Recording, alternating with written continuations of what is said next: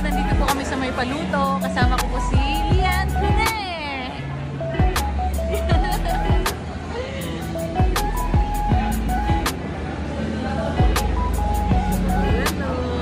okay guys,